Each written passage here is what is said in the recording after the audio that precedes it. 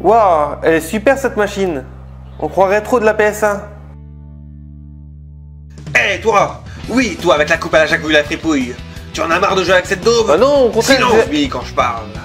Euh, moi c'est Benji. Peu importe. Tiens, voici la nouvelle console de Nvidia, la Shield portable.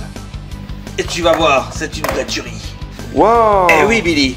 Esthétiquement, en plus d'être très confortable pour la prise en main grâce à sa forme de manette, elle dispose d'un écran tactile de 5 pouces qui se présente comme une tablette Android, laissant donc accès à toutes les applications.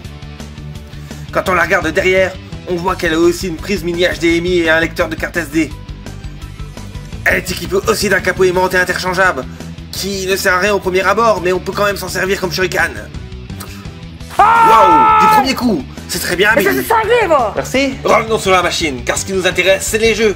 En plus de faire tourner les jeux Android les plus gourmands en 720p 60 fps, elle te permet de streamer tes jeux Steam de n'importe quel endroit du moment que ton PC est taché, soyez tous les deux connectés à Internet. Mais pas que, certains jeux sont directement streamables via Nvidia gratuitement sans passer par son PC. C'est complètement dingue, n'est-ce pas?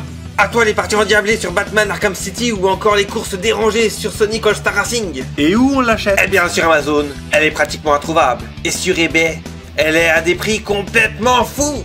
Heureusement pour toi, j'ai décoté celle-ci chez Schilderic à Stargame Retail pour la modique somme de 150 Ah euros. c'est marrant, la Shield, elle vient de chez Shield. Oui, non, ta gueule.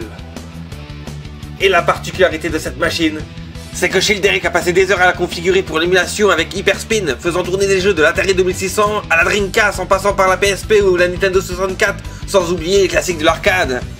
Et comme elle dispose d'une prise mini HDMI, tu peux la raccorder à ta télé et t'en servir comme console de salon. Encore que pour ça, en plus de devoir t'acheter l'adaptateur mini HDMI, il te faudra acheter plusieurs contrôleurs Shield vendus à prix fort sur les sites connus d'internet. Alors Billy, qu'est-ce que tu en dis? Ah ben, elle est géniale, hein. Mais tu sais, moi, euh, le dématériel et l'émulation, euh, c'est pas trop ma tranche de thé, je préfère le support physique, hein. Ça te va comme support physique, ça? C'est bon, on la prend. Eh toi, tu as aimé cette vidéo? Alors n'hésite pas à t'abonner et à laisser un pouce bleu. Allez, à la prochaine, salut